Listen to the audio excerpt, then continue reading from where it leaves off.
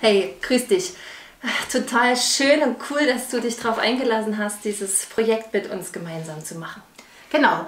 Wir freuen uns total und wollen mit dir jetzt durch die Station 6 gehen, gemeinsam, für die du dich entschieden hast und die heißt Simon hilft das Kreuz tragen.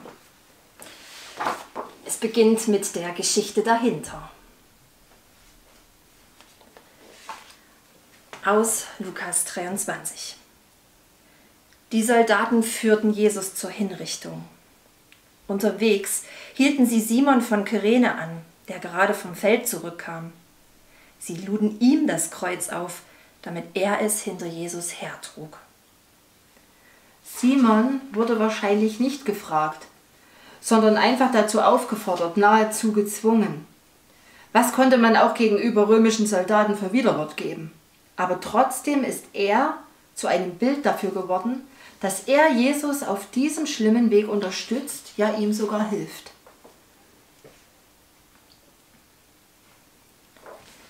Worte wie Solidarität oder Nächstenliebe fallen mir da ein. Die passiert ja ganz freiwillig. Menschen entscheiden sich selbst dazu, anderen zu helfen, ihnen Gutes zu tun.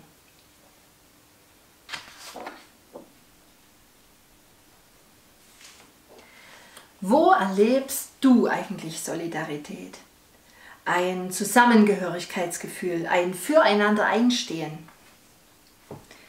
Und wo könntest du ganz konkret helfen? Wo kannst du mit anpacken?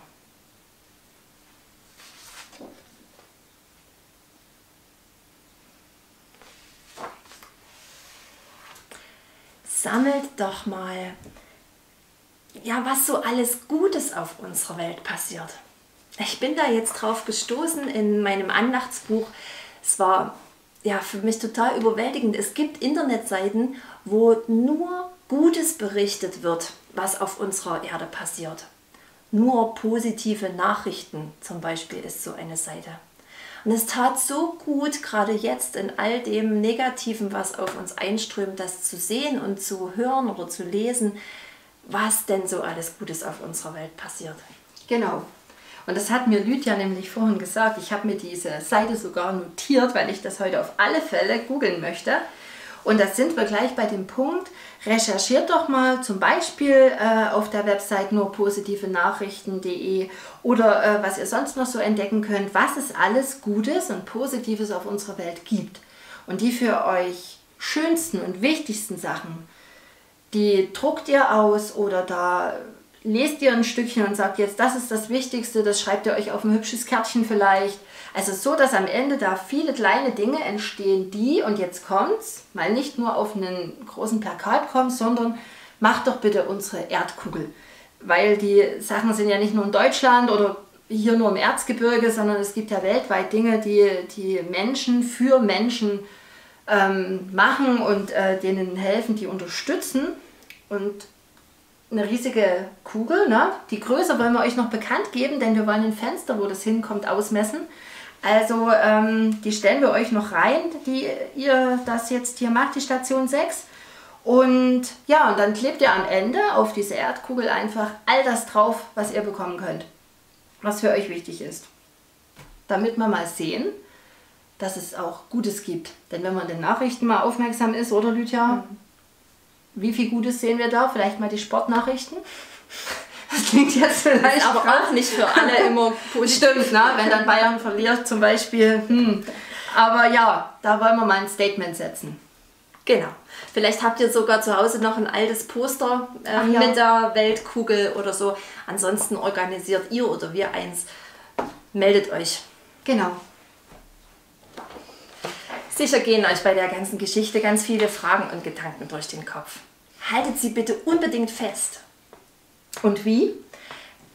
Schreib sie einfach irgendwo hin oder sprech sie als Audio ein in dein Handy. Das ja, können ganz wilde Gedanken sein, einfach so, ganz unzensiert.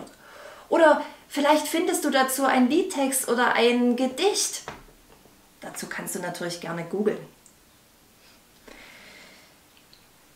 Denn Denn wir möchten sehr gern am Schluss neben eurem Kunstwerk, wenn das die Menschen dann sehen können, eure Gedanken dazu wiedergeben, weil wir das auch ganz wichtig finden, wie ihr darauf gekommen seid.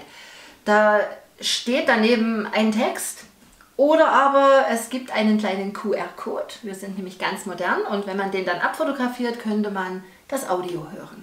Aber ihr müsst euch darüber keinen Kopf machen. Genau, also ganz einfach. Schickt uns erstmal zu, was ihr habt. Über das Endergebnis machen wir uns dann zusammen rüber. Deshalb jederzeit meldet euch bei mir per WhatsApp, sprich was drauf. Meine Nummer hast du. Bei mir könnt ihr euch auch melden und zwar jederzeit an einem Mittwoch und da in der Zeit von um 8 bis abends um 6. Und jetzt sind wir total gespannt und freuen uns auf das, was hier rauskommt. Und danke fürs Mitmachen.